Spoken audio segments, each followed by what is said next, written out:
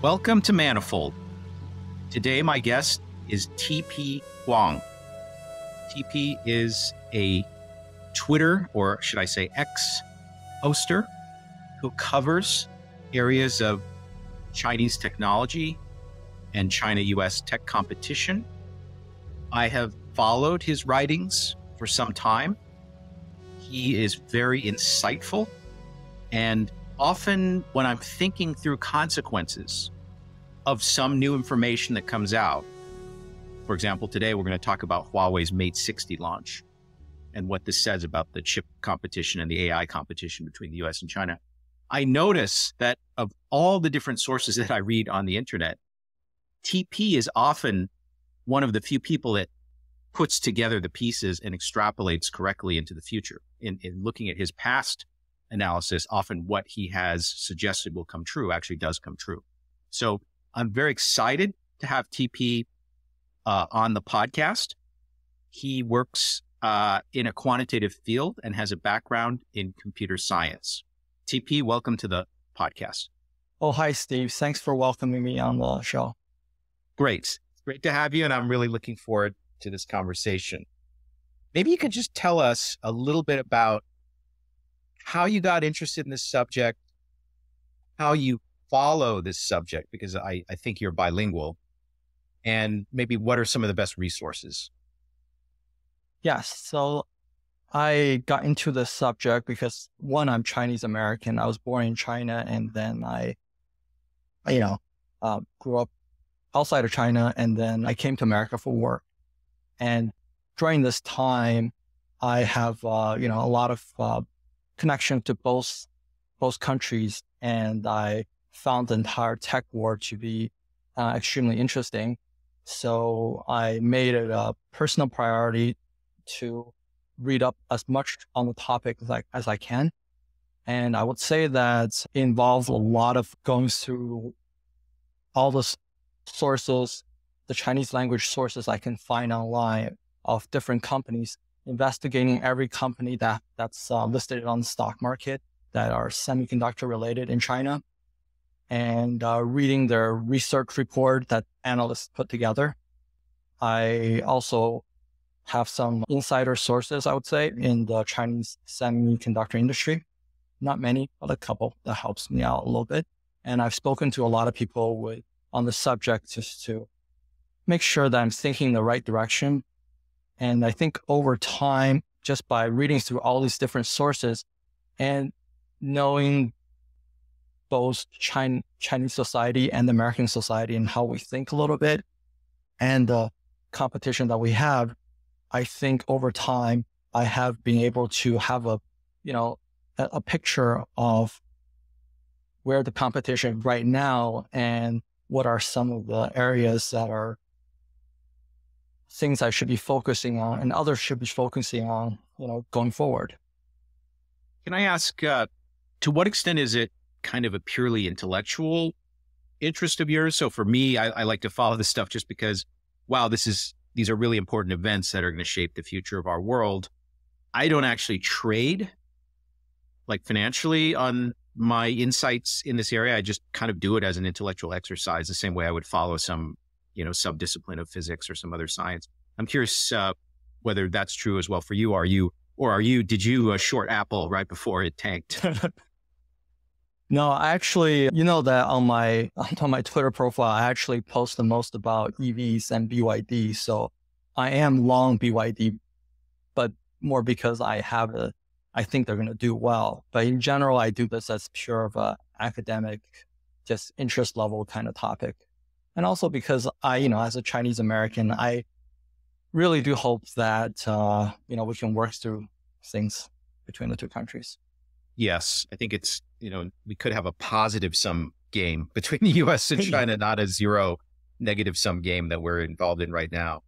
You know, I, I should mention that I think I actually became aware of you originally because of EVs, because, and, and, and to my audience, I would love to have TP back if if he has a good time talking to me for the next hour. I would love to have him back to do a whole nother episode on EVs because EVs and batteries uh, are another area that I've been following.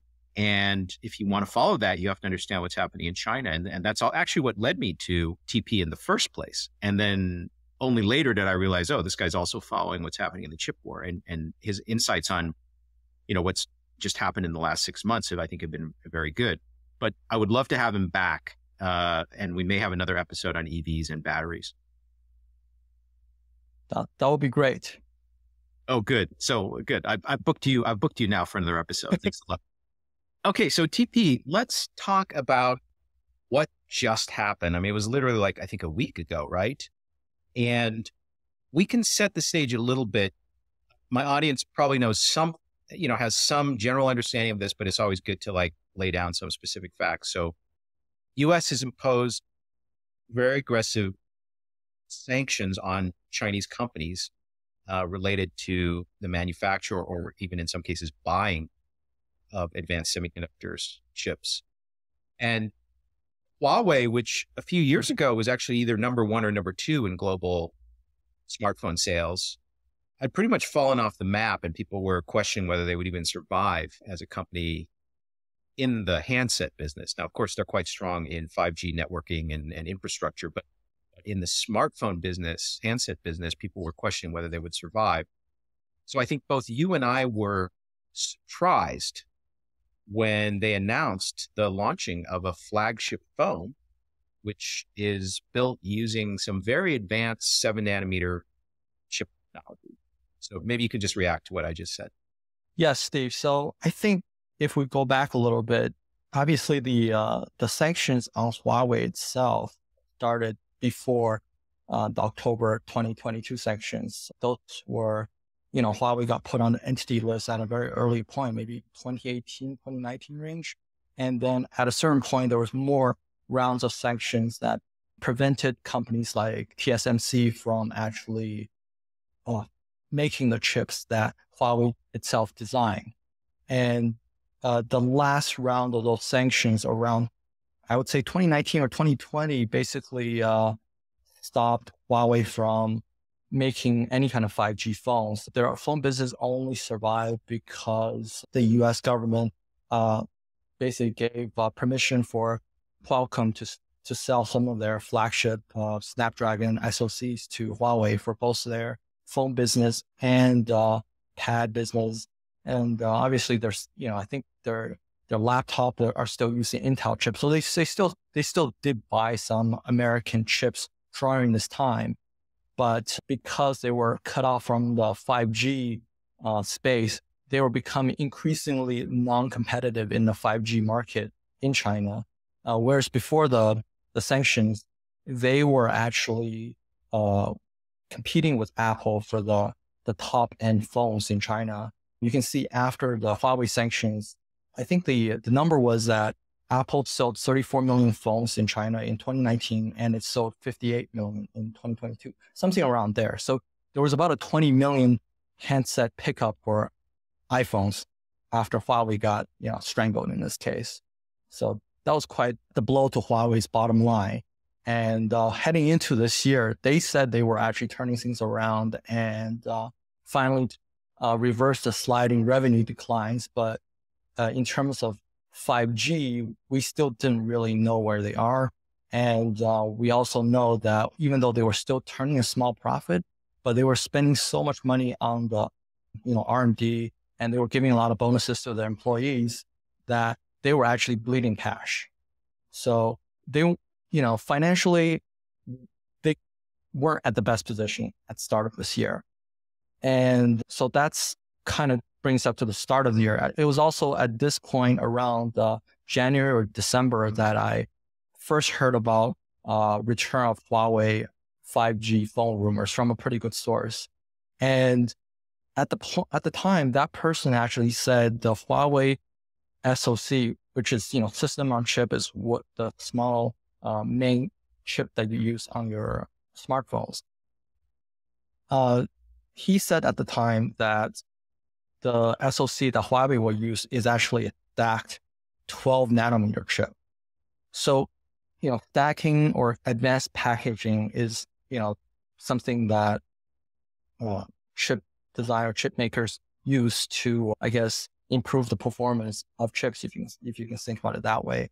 And the idea was people thought that China itself was not able to make any more seven nanometer chip, or they you know they never had a a really solid process with high enough yield for commercial usage.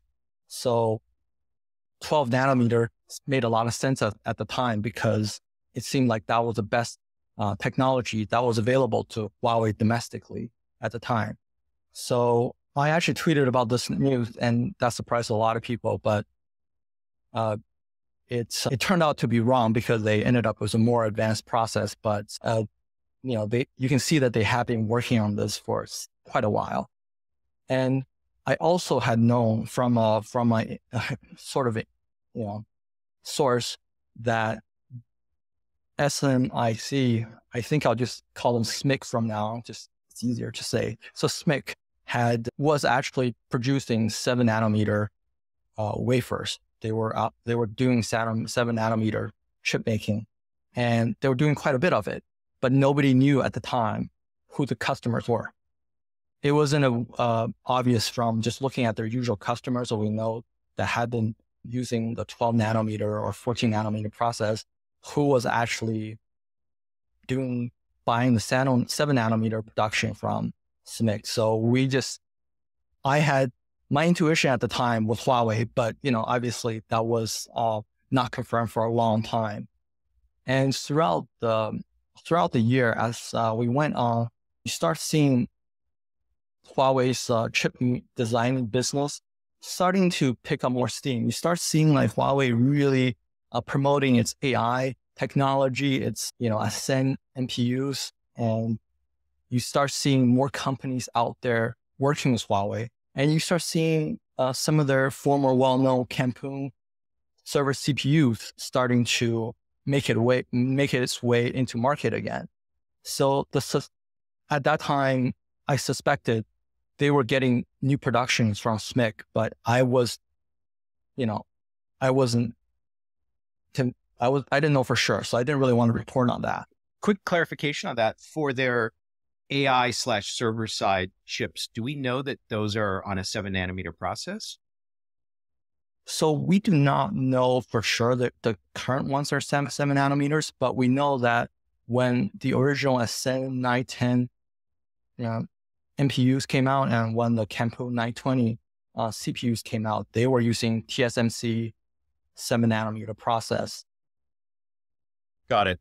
So let me just clarify a few background things for my listeners. So, number one, uh, one of the things that caught my eye about Huawei as a company, uh, this is many years ago, maybe five years ago or more, when the Mate 10 was their flagship. Now they're up to the Mate 60. Uh, Huawei is well known as an infrastructure provider for telecoms. And so they are the main provider for the infrastructure that provides 5G uh, connectivity, and but that's mainly sold to carriers, carriers like uh, Deutsche Telekom, for example. When they got into the handset business, I realized that not only were they making world class handsets, but they had a chip design arm called HiSilicon.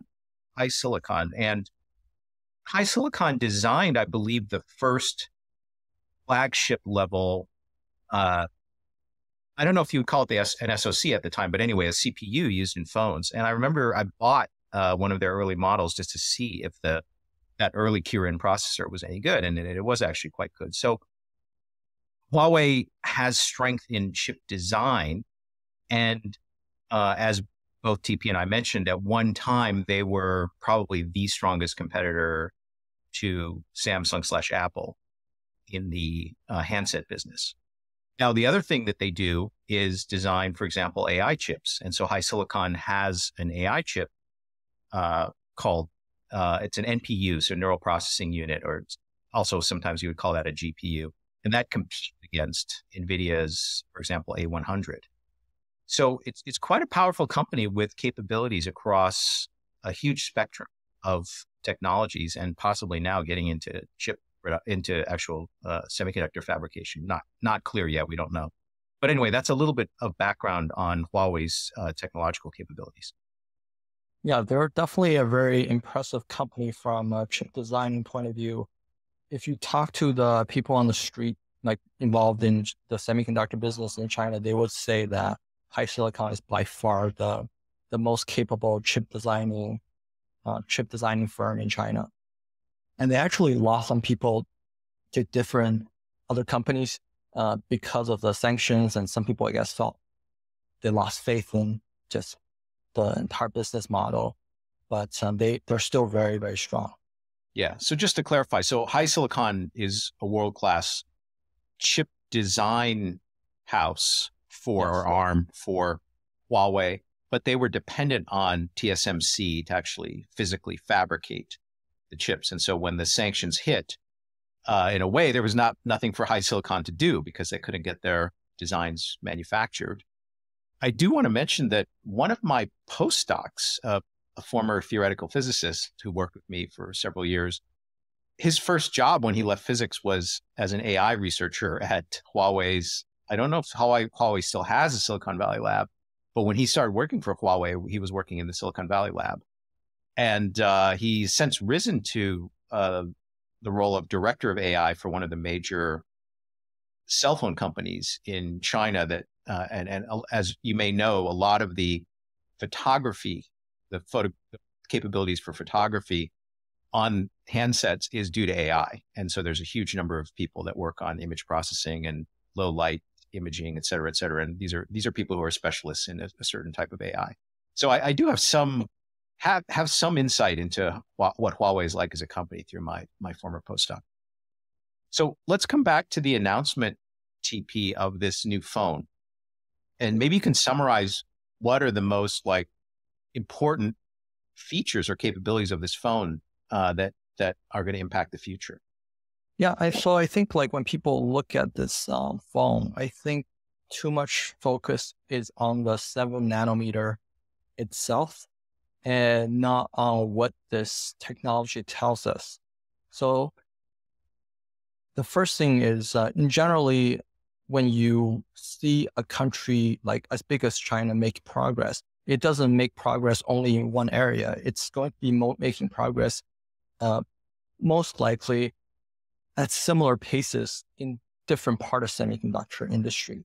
So I think that the first thing it tells us if you, you know, if you had a certain view of where China's semiconductor industry is now, you should rethink where their semiconductor industry was back uh, October of 2022 when the sanctions were originally levied. So what this tells us is that in the chip making side of things itself, it's at seven nanometers. But what does this tell us about the other aspect of its uh, semiconductor industry?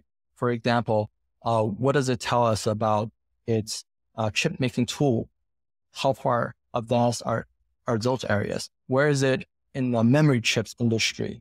Uh, where is the rest of the chip design houses in China? Where is it uh, advanced packaging? um, industry. How far uh, is it progressing in what we call third generation, fourth generation semiconductor materials like uh, gallium nitride and uh, silicon carbide, and also gallium oxide? These are all very important topics, very important technologies uh, for people to think about. And uh, the the one thing that there was two things that really surprised me well, three things actually. One thing was that the chip itself came out to be way more advanced than I expected. Why do I say that? Because of uh, a couple things. My original expectation was that while SMIC was doing seven nanometer, it was a very early seven nanometer process. So uh, Huawei, if it designs, uh, you know, a flagship or any kind of SoC, it will not be at the same level as Snapdragon 8 Generation 2. And it's also likely to be stacked, which means that it will allow it to have a better performance than your usual 7 nanometer process. but it turned out that actually it was not stacked. The chip itself was about the same size as the previous uh, Kirin uh, 9000 SoC. And it had its own 5G integrated 5G modem. It had its own uh, NPU, GPU, and uh, you know DSPs, all the things that you would want to have in like a flagship SoC that's really powerful. And the performance itself actually ended up being better than what I expected to in terms of uh, things like power consumption. It was obviously not at the same level as you would see from a four nanometer or a five nanometer process, but it was better than uh, Snapdragon 888, which was, you know, came out two years ago. And it had really good peak performance and uh, they were able to use what, what's called hyper-threading in their CPUs to get it to uh, have uh, performance that are as good as Snapdragon 8 Gen 1. And while that process itself utilized a lot of power, you know, overall, it's people are not going to be using their phone uh, at max uh, power or max uh, requirement for a long period of time. So even if it's a little inefficient at the higher end, it's not something that's going to degrade the performance so much that it can't be a flagship phone. So, so obviously the, the SoC itself was actually very impressive based on what kind of process they had. It turned out later that SMIC's process was not as advanced as I thought when I first saw the some of the test results. So that actually spoke more for the how well designed the chip itself was. So the SoC itself was it was impressive. On top of that, they also had their own 5G uh, RF front end. So this will be for things like when you when the signals come in, there are switches that will then go through power amplifiers which then goes through like what they call BAW filters, and then uh, you know gets converted to signals that you you process in your 5G modem. And this is an industry, or this this industry itself has been dominated by American and Japanese companies for a long time. For something like BAW filter, which basically is essential to get the 5G signals, um, I think Skyworks or Skyworks or Broadcom have something like 87% market share on it. I can't, I can't remember right now which one it is. And there's basically very few players outside of, of uh, you know, American firms in this. So the fact that uh, Huawei was able to find like a local source for this product was very surprising.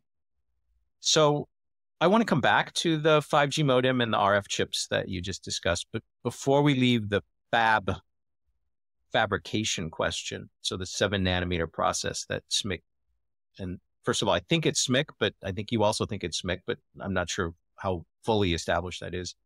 They had to use something called multi patterning because the lithography machines they have available to them are only deep ultraviolet uh, the US is not allowing ASML to sell Chinese companies an extreme ultraviolet EUV lithography, lithography machine, which is preferred for the smaller feature sizes.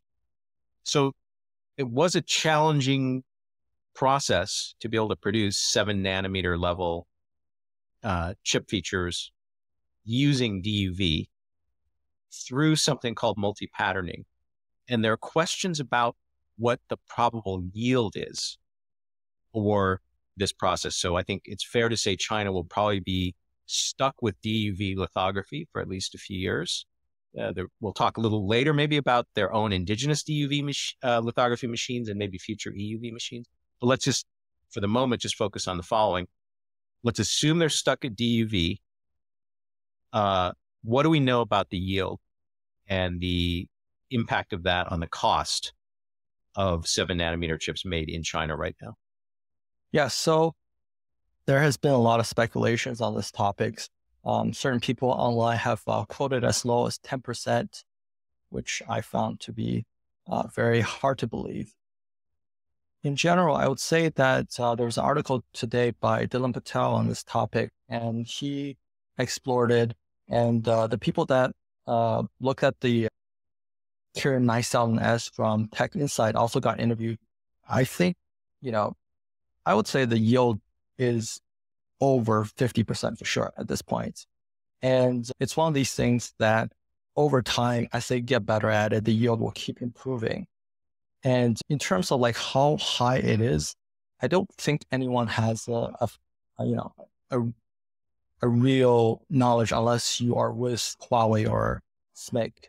So, but my personal perception is it's probably in the 70s by this point because of the the rumored order size from Huawei. So they are going to be cut off from the American chips uh, supply, most likely. So next year, they're planning something like 60 million phones. That's uh, that's a rumor that's out there right now. And on top of the 60 million phones they have, they're probably going to sell 10 million tablets, probably 5 million desktops, and they're also going to need to make uh, server chips and also AI chips. And obviously, as the chips themselves get larger and more complicated, the yield gets lower.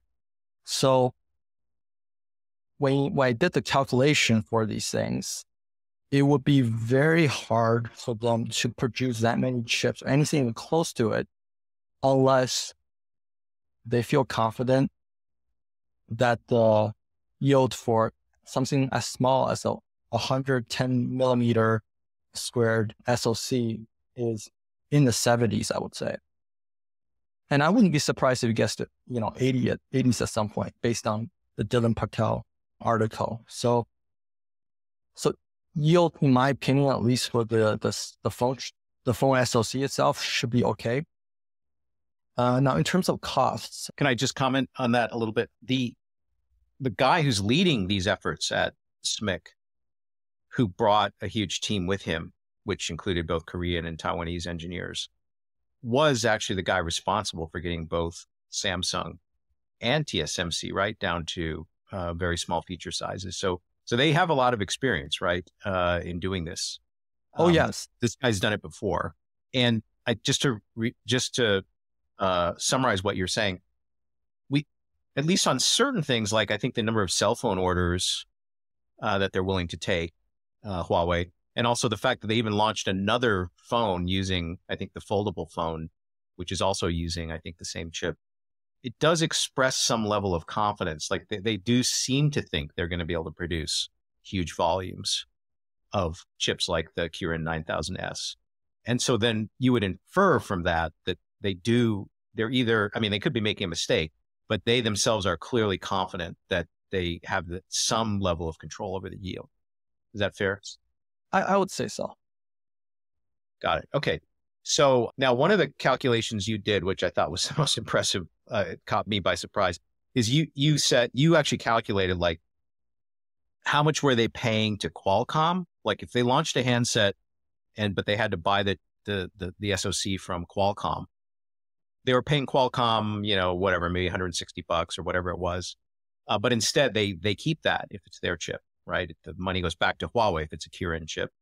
And so they could tolerate somewhat more expensive fabrication costs uh, because they're now no longer paying effectively like the profit margin of Qualcomm. So maybe you could talk about those numbers. Yeah. So one of the things that surprised me was just how expensive the uh, the latest Snapdragon SoCs came out to be. The ones that Huawei itself bought are actually not the generation two or the generation three Snapdragon 8 SoCs. It bought the first generation ones, uh, which probably weren't, ex- weren't as expensive. But if it actually wanted to stay in the smartphone business going forward without having its own flagship chips, it would probably have to pay the $160 per, I think it was 160 or 140. But the, the Gen 3 actually I saw as high as $180 per SoC. So if you just do like a you know calculation head, if they were to sell uh, 50 million phones next year, uh, 180 dollars per per phone multiplied by 50 million, that would come out to be $9 billion a year. And based on that, I calculated that even if the cost of fabricating for SMIC was as high as a TSMC five nanometer process, just, you know, based on all the tools that they have to buy and the, you know, the amortization, depreciation costs associated with it, they could charge, like SMIC could charge the same price as what uh, TSMC charges for five nanometer wafers. And uh, Huawei could buy that and they would still be able to uh, pay a lot of money to their employees, uh, do all the testing and uh, packaging required, and still profit like a 50% margin on this thing. It was, the math was really mind blowing to me I, calculated it. Yeah, you were the first person I saw who actually looked careful at these numbers. I was actually a little disappointed in the Wall Street guys because the Wall Street guys should have been on this right away, but they, I didn't see any similar analysis for a while from these guys. Um, because that was a tradable event, right? If you if you figured out like, oh, wait a minute, they could really do this. That's going to have a bunch of it. Like, I think you were ahead of these guys by like at least 24 hours or something. Now, as far as I understand it, the, the, the cost per chip is scaling more or less linearly with yield, right? So if I get slightly less yield, I just have to run the process more, like one over the delta in the yield and, uh, and pay for that. So it increases the per unit cost. But like if you're varying within 50 to 70%, sure, you maybe pay a little bit more for the chip, but you didn't have an alternative, right? Either your alternative was either to pay a, a huge profit margin to Qualcomm for that chip or not have the chip at all because you're sanctioned by the US government, right? So it seemed like even if their yield wasn't that great, they still might have a business opportunity there. Sure. I, I, think the business case is there. I think the bigger question is whether they have enough equipment to actually run the process. A yeah. lot of people actually look at the process and they say, well, okay, so SMIC has this many lithography machines. Okay, so based on these lithography machines, I think they can uh, run, they can produce this many advanced seven nanometer chips. And I look at that and I say, well, they also need other equipments also. And while, while SMIC itself is probably has enough lithography machines to increase production, but it doesn't have enough of the etching machines, you know, many of the other kind of equipment that you need for the high volume production because they lost access to Lam and uh, AMAT, you know, within the past year, obviously. So there is a question of if they can ramp up the production and capacity at SMIC uh, through domestic equipment producers. Right. And so that's an open question, right? Yes, I think, you know, I think if if we go back to what I talked about before, if we have been underestimating where uh, SMIC's uh, seven nanometer uh, manufacturing capability is, we may also be underestimating where the uh, the different uh, equipment manufacturers are at in terms of their the quality of their equipment and such. Right. So th- this whole this thing ties into all these issues, like like how far along is AMEC, right? Uh, uh, so one of the things is, you know, if the premise is the people at Huawei are not idiots, and clearly they're not, and the calculations on like, okay, what capacity do we actually have for all of these different aspects of the production chain? That surely those guys can figure it out, right? They, they talk to their counterparts at SMIC. They talk to, you know, and I, I guess there's been talk of like mysterious buying of used DUV machines and all kinds of other stuff going on. You would guess that they have this lined up. Like if, if they actually say they're gonna they're gonna have tablets and you know uh, server chips and AI chips, then probably they sort of can see the path to actually producing them. Yeah, I th- I think people should focus a little bit less on a lithography machine because I'll just tell you right now, SMIC has enough lithography machines to increase the production by a lot.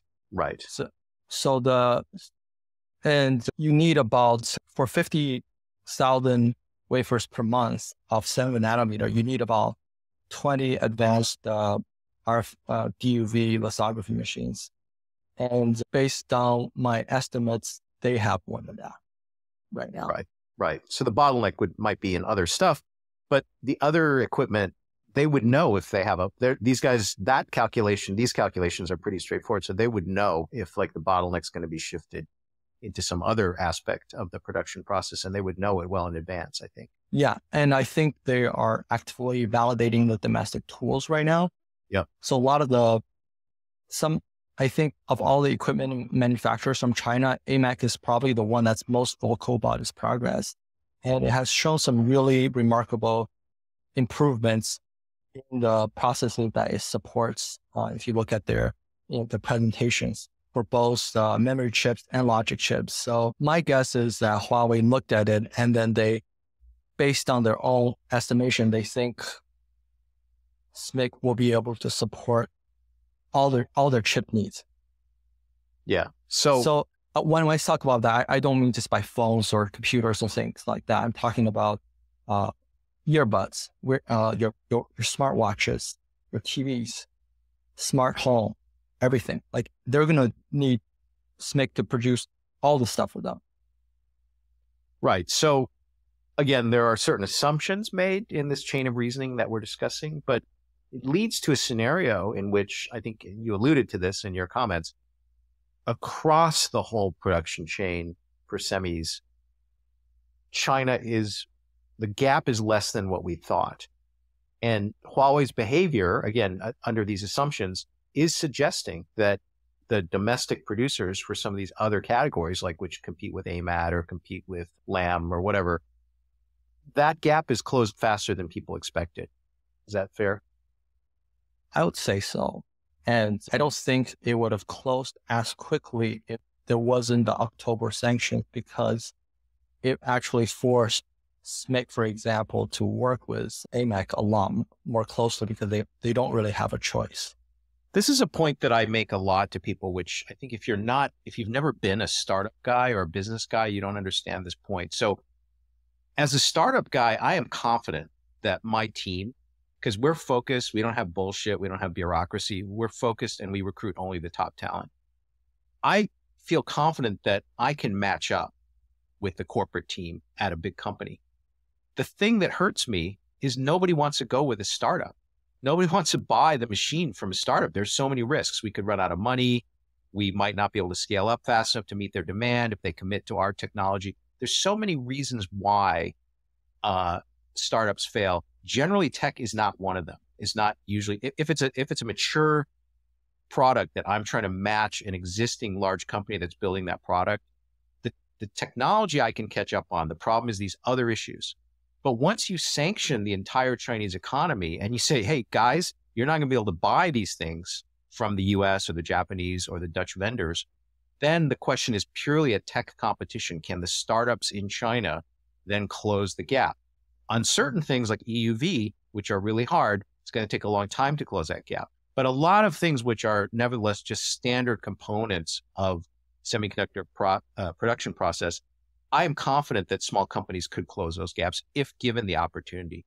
So the way I would say it is the US sanctions solved a kind of alignment problem or coordination problem within China, which basically forced all these companies to work together.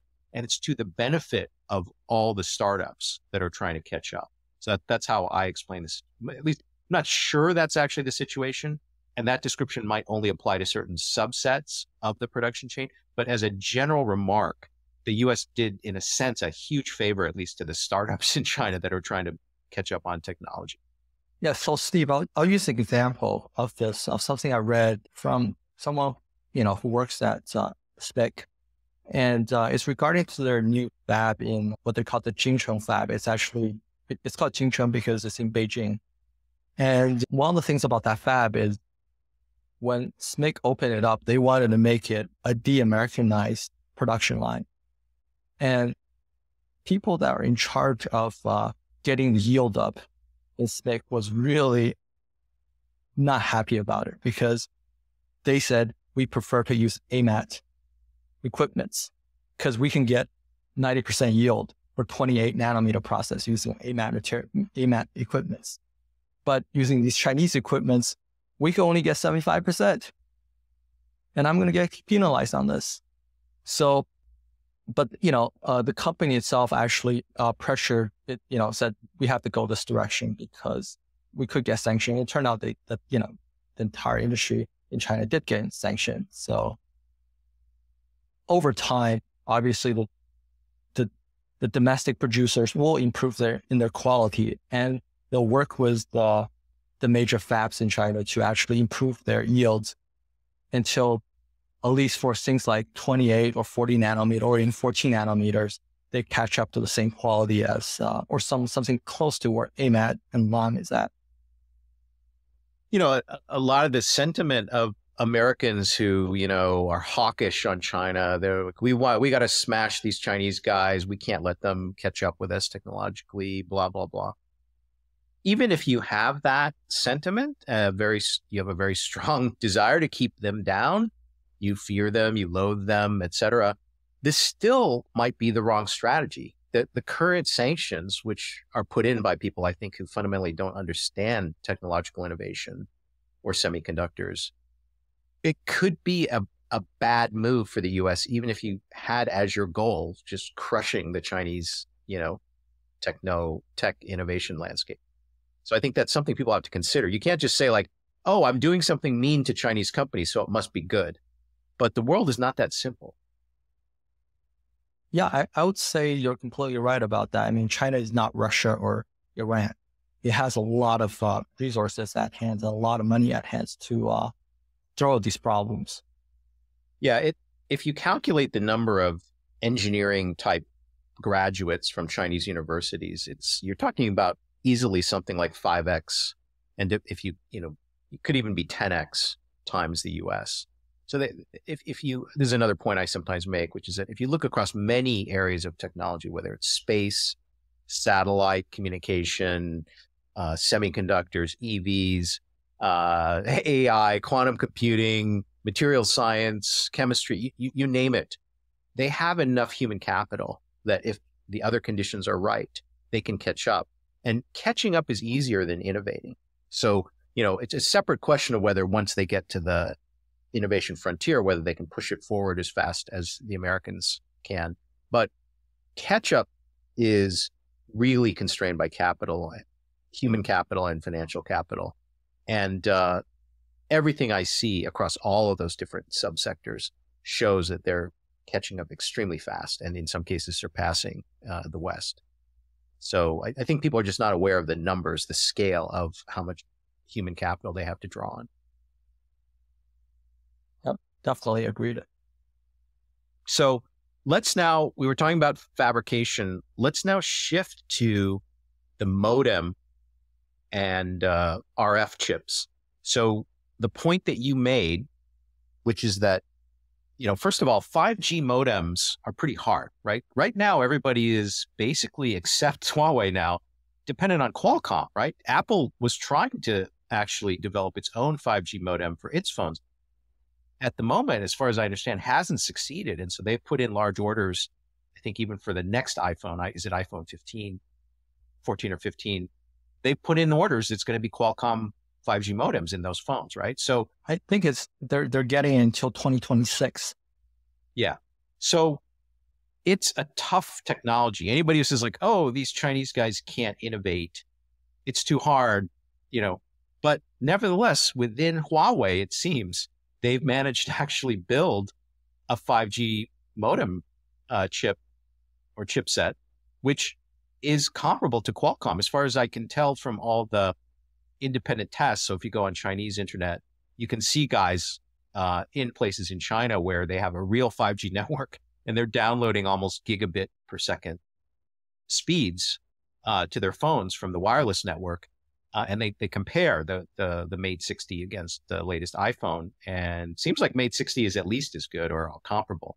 So it does seem that there's evidence that they've closed this 5G modem gap. Do you, do you want to comment on that? Yeah, I think the ongoing joke online on China is just how bad the iPhone signals are in China compared to everyone else. And I think there, the, one of the rationale is that iPhone doesn't have an integrated modem to their SoC because it uses the, the Qualcomm modem. Right. But I was actually very impressed, not just with the modem itself, but its integration with all the front end analog chips, chips that we talked about that you just never know when a new player is coming into industry. They can say they have, we, we have a product that's comparable to uh, Skyworks or uh, Broadcom products, but you, you, until you test it out and verify with your system, you really don't know. So, so what we actually saw is Huawei not only doing an advanced SoC and 5G modem to it, they also cultivated a domestic RF supply chain from almost nothing. Right. So so RF is radio frequency and you're talking about the thing that allows this tiny antenna in your phone to connect to a base station or even potentially to a satellite, which we'll talk about in a moment.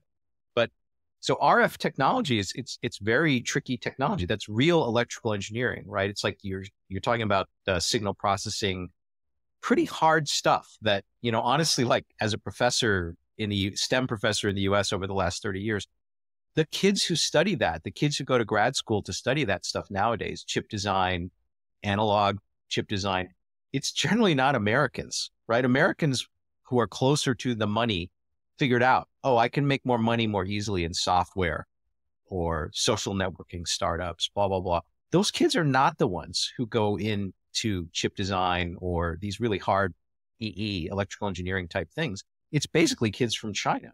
And so to say you're surprised that the Chinese can catch up in these areas is kind of, to me, like very stupid. It just shows like you don't really understand who's doing this work, even in America.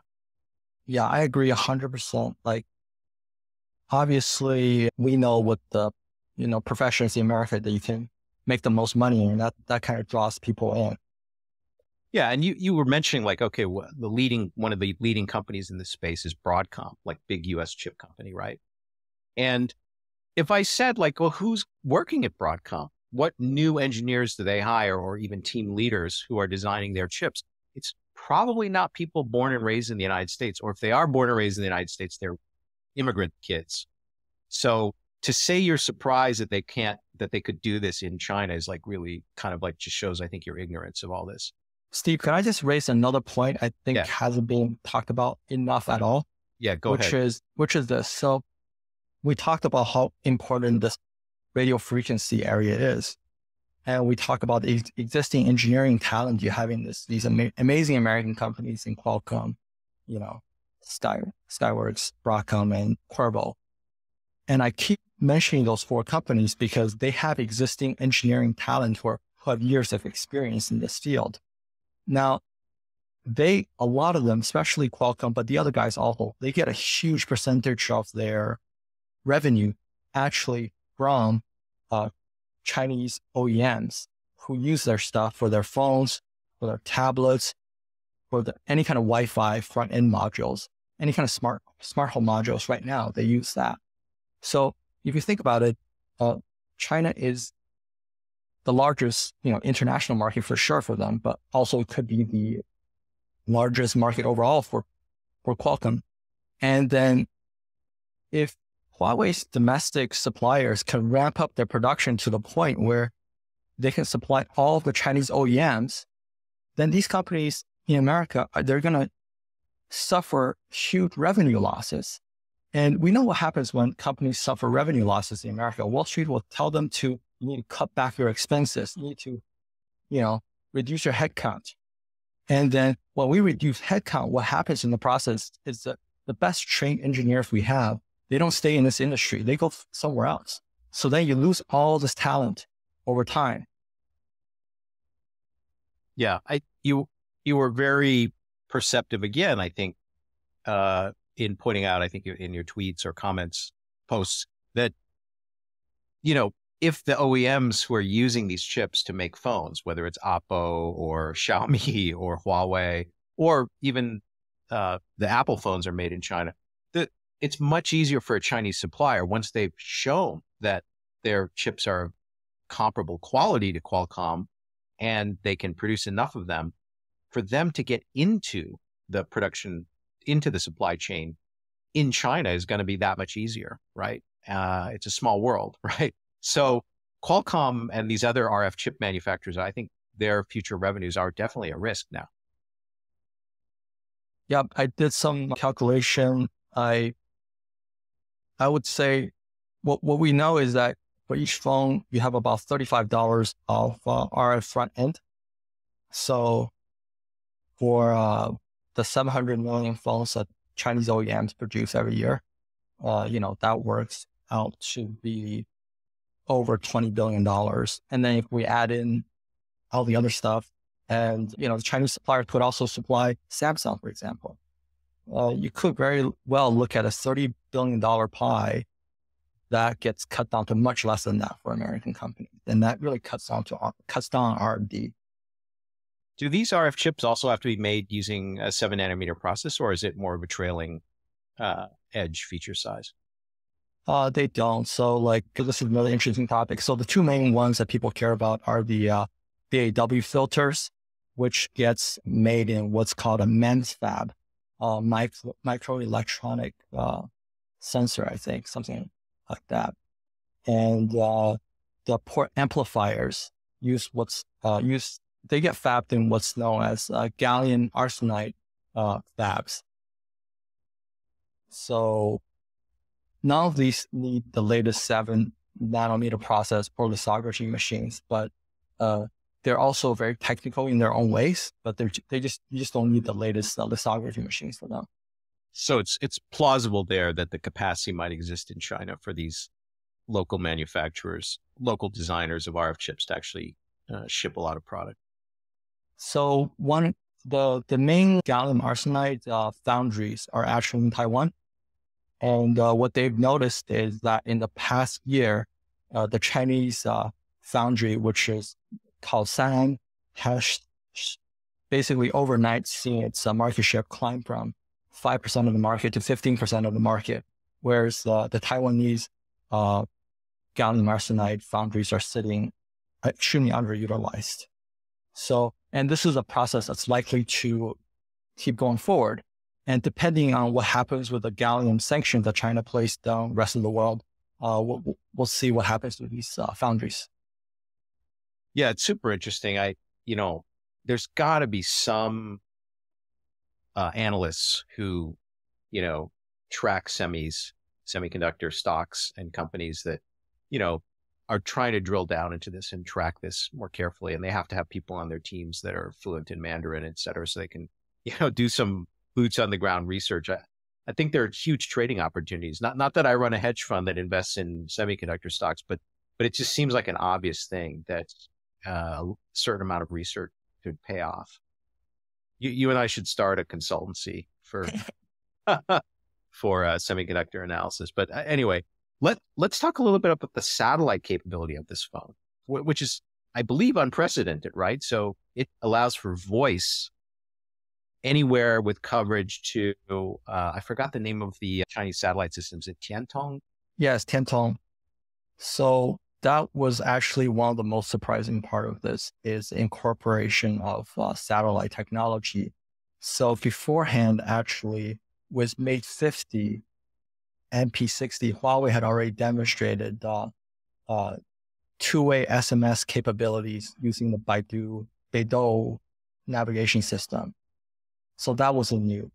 But this uh, satellite phone capability is actually new. And if you see some of the map coverage, the Tiantong satellites can cover a good chunk of uh, Southeast, like all Southeast Asia, Japan, Korea, even all the way to like uh, United Arab Emirates. It's amazing. Now, I don't know if it's actually used that far in practice. I think right now, China Mobile, no, China Telecom is, is saying it's only operational on the ground in, within the border of China, but people have already used this on airplanes. So that's kind of interesting. But the more, the more interesting engineering part of this is they managed to somehow make the chip uh, small enough and still work inside a smartphone. So the old satellite phone we have all look extremely clunky with huge antennas. And these, the, the Mate 60 clearly are just, just your regular smartphone. And the chip is strong enough to go all the way up to geo satellite, which is really far away and, and receive signals from that. So, and we're going to see more phone from the Chinese market with this capabilities going forward because, uh, you know, other OEMs are going to want to catch up to this capability. Yeah, I, I don't know to what extent those capabilities are available from other uh, vendors than Huawei. It could be a unique uh, leapfrog for them uh, that other people can't uh, currently uh, reproduce. In a future podcast, just to advertise, I, I there is a uh, a friend of mine whom I've known since we were both students at Caltech, who is the founder and CEO of a company called Lynk, L Y N K, which is a satellite company. Which uh, now their satellites are, I think, low Earth orbit. Uh, their network allows you using an existing cell phone, the existing antenna on your cell phone, which is meant to connect to like a local uh, uh base station, like in your neighborhood. That same phone can talk to these Lynk satellites that are in orbit, and so he is selling uh, emergency calling from an ordinary existing cell phone through his network to big carriers, uh, uh, telco carriers around the world. So just as an emergency feature mainly. So I'm going to have him on the podcast and we're going to discuss part of what we're going to discuss is what these Huawei capabilities. But it does seem to leapfrog anything that I had heard about from other uh, companies or vendors.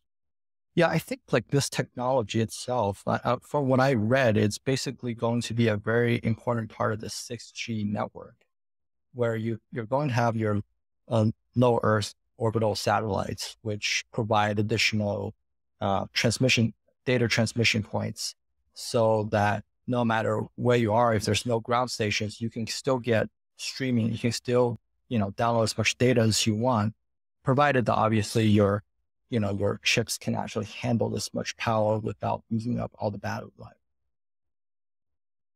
Right. So, but you know, back to again, like uh, this is something that's kind of popped into my head from reading your analysis.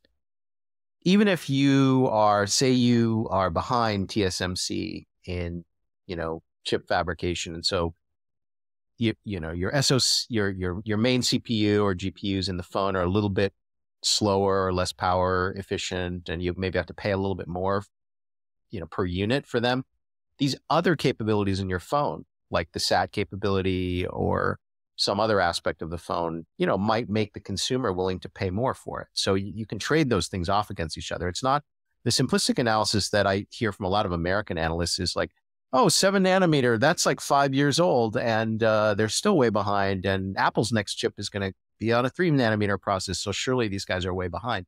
But phone competition, you know, competition between handsets isn't that simplistic. It's like a, a bundle of lots of different features that determine uh, which handset is is preferable to the other. And you know, I wouldn't actually. It, it, it's I think there's already pretty ample evidence that nationalist sentiment in China is going to buoy Huawei sales. People in China understand that the U.S. government unfairly targeted Huawei and just out of spite, they're going to buy a Huawei phone, even if it's slightly less good than a foreign phone. And so I, I wouldn't, I wouldn't underestimate that uh, dynamic. Yeah, I think like most people, when they use their phone, they're not going to know what their power consumption data on their phones. I have no idea any what that is for any of my phones. I don't know what the SOC is on my, you know, Google Pixel phone. I don't really care uh, things that people, you know, that, that are like really good advantage for the phone, Mate 60, apparently its camera is really good. Its speaker is really good. Obviously, the 5G signals are really good. And it has uses very advanced fast charging technology.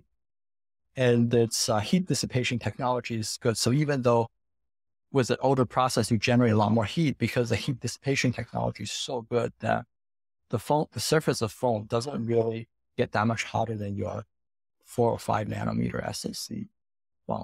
So well. so you you could argue that Huawei's strength in what I call like real engineering, like physical engineering or applied physics, you know, allows them, like say their phone charges faster, right, than an iPhone.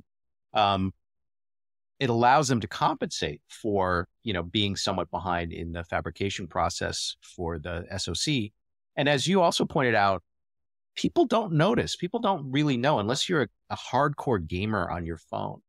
You are actually not going to notice if you have like a, a, main CPU, which is a couple generations behind uh, the, the leading edge, bleeding edge.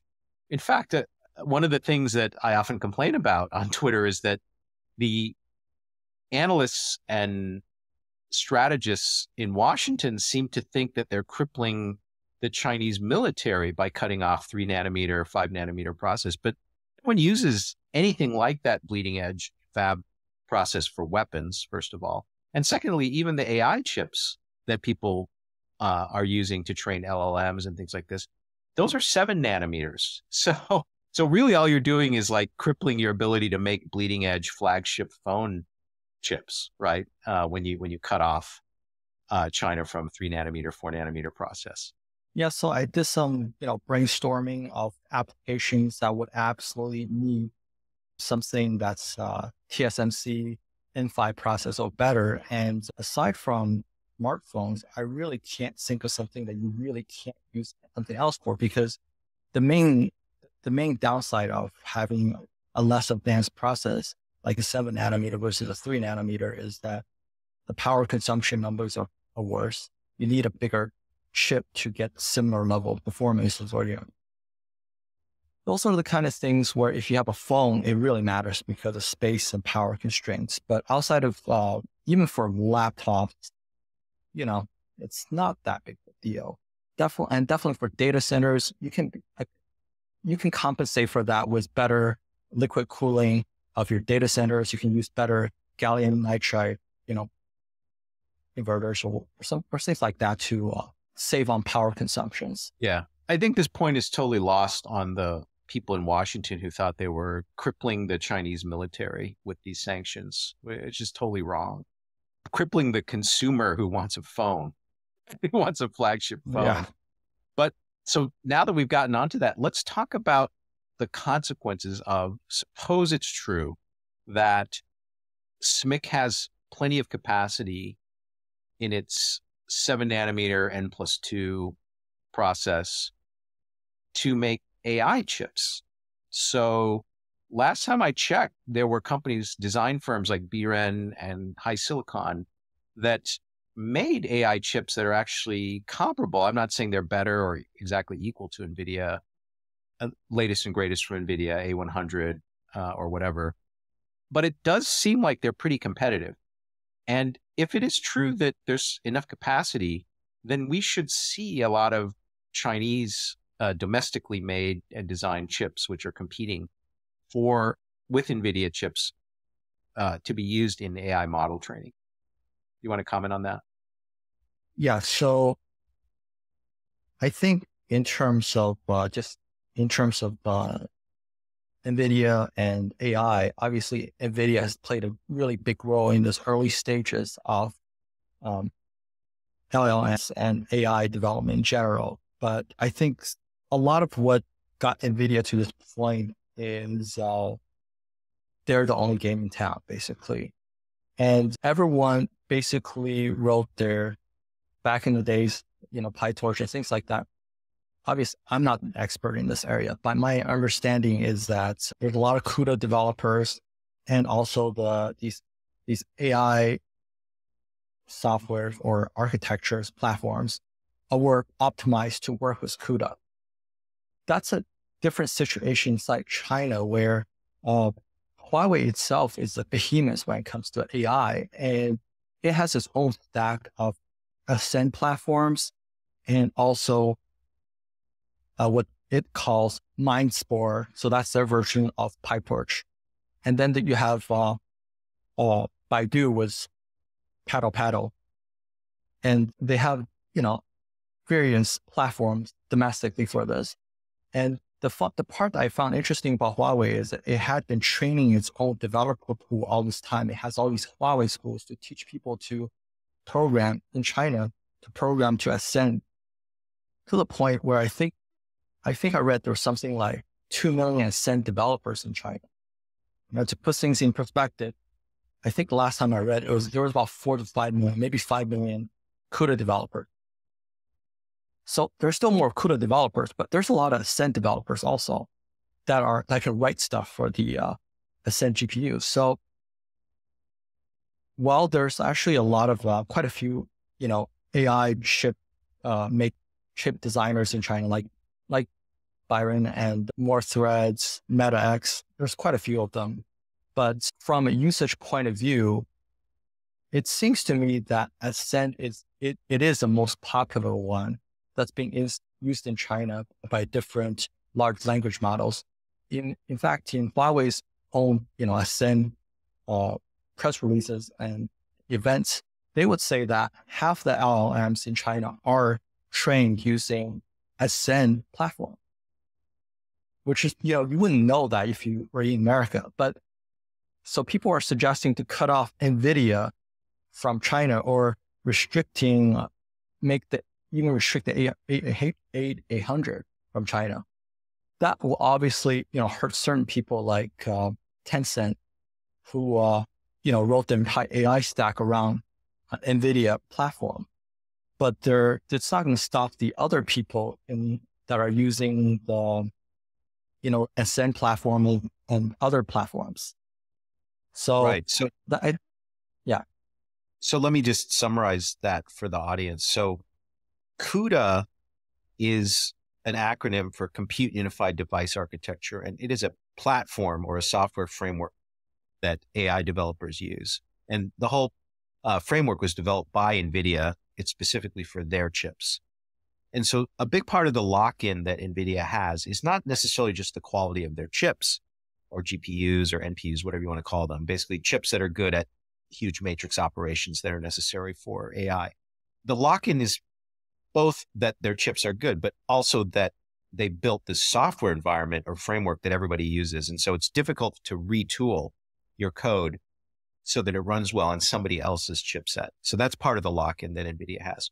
But what TP has just pointed out is that that isn't completely the case in China. So there are some companies that are probably locked into NVIDIA hardware, but there are a lot of developers in China that could use the, the software framework that's built around Huawei's NPUs or G, GPUs uh, called Ascend. So I would actually predict that if the US say just completely cut off China from NVIDIA chips, some companies would be damaged, but over the overall pace of AI development in China would not be hampered by that much, assuming that SMIC does have the capability to manufacture at scale, you know, these seven nanometer designs that uh, have been produced by companies like Biren or uh, HiSilicon. Is that is that fair, TP? Yes, I would say so. I, I would say that like uh, NVIDIA itself, it, if they cut off NVIDIA uh, supply of chips into China, it will definitely hurt certain projects.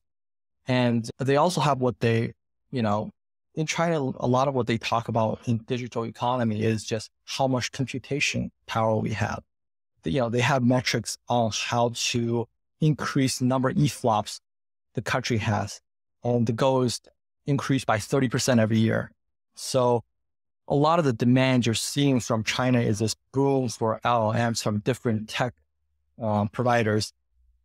And whether they actually, whether you actually need that many people creating LLMs at the same time is a different story. I'm not sure what the answer to that is.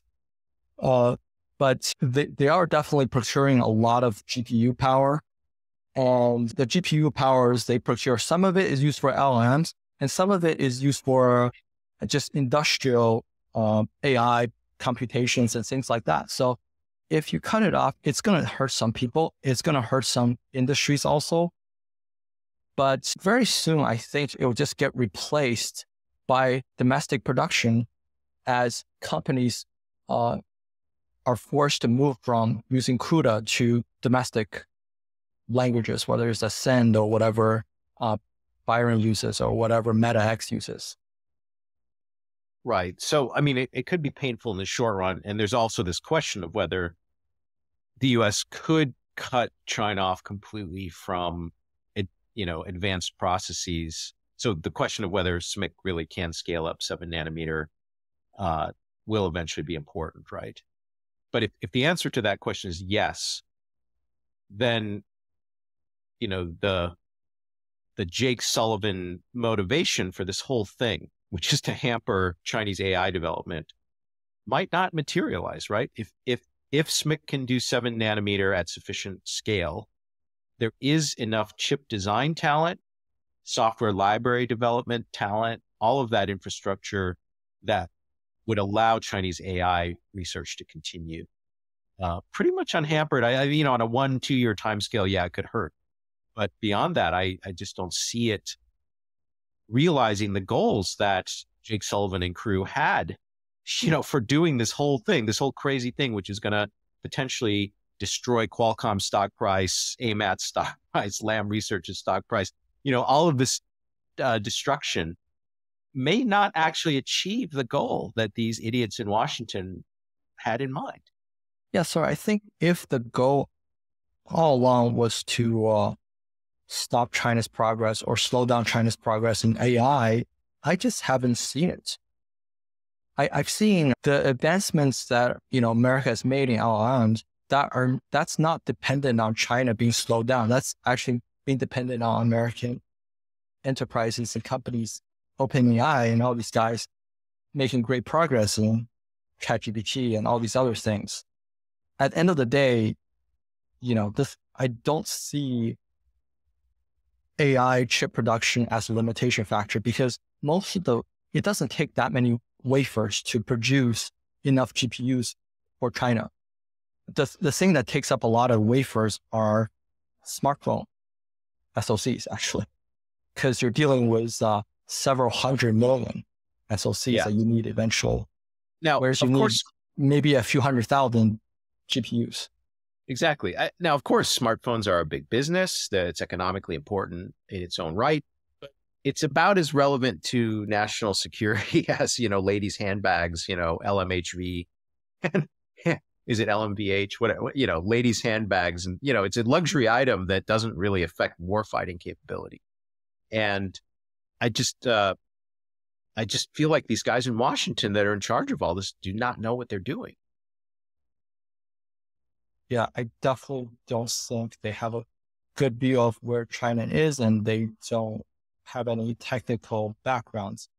And it, it has shown itself in everything that, that has happened. You know, I, for eight years, I was the vice president for research at a Big Ten university in the United States. And one of part of my job was to go periodically to Washington to try to support federal you know, uh, budgets for science and technology and, you know, talk to people about certain regulatory issues, et cetera, et cetera. And, you know, people in Washington probably would hate to hear this, but, you know, within 50 miles of uh, the White House, it's pretty damn hard to find anybody who understands anything about science and technology. You know, you have some people at NIST. Maybe that's about it. I don't know. You have some people at NSA, but in general, the people who control the political levels of levers of power in this country really simply don't understand science and technology. And then secondly, they may have completely unrealistic ideas of what's going on in China, which is an independent issue. Yeah, I would say if they were uh, doing their job correctly, they should be sending. So America has really good intelligence operation. I know this because I have some friends who are in certain areas and the intelligence report we get of China is amazing. They, they have so much details on what's going on, military speaking in China. Now, if they could spend some of that resource just by sending people into China to see what the tech development are, and then actually having the politician listen to them and make policies based on those recommendations, I think things will look a lot different. I think if if if you know, one of my buddies who runs a big hedge fund said, Hey, Steve, why don't you and TP hire up a team of five guys and just figure out, because it looks like a pretty dynamic moment for semis uh, and related tech. Uh, and maybe you can figure out some of this stuff because time scales are slow, right? It takes a lot of time to build a fab or, you know, by the time somebody's DUV or EUV machine actually works, a lot of people know it, right? So like, I think like a small team that we built could probably have a better idea of what's going to happen, what the world's going to be like in two years in semis than like anybody in Washington or at the CIA or you know, uh, military intelligence. I just don't think those guys know what they're doing. Well, one thing, I think what this entire past year has taught me and taught some of the things I looked at is just how much it has really forced the Chinese industries, a lot of these OEMs to um, de-risk. You know, that's a key term people use to de-risk from outside suppliers. And I'm reading news right now just about all the components. You know, while we, the phone itself is not just the, ch- the seven nanometer chip, but also the fact that it's something like 90% domestic, something along that line.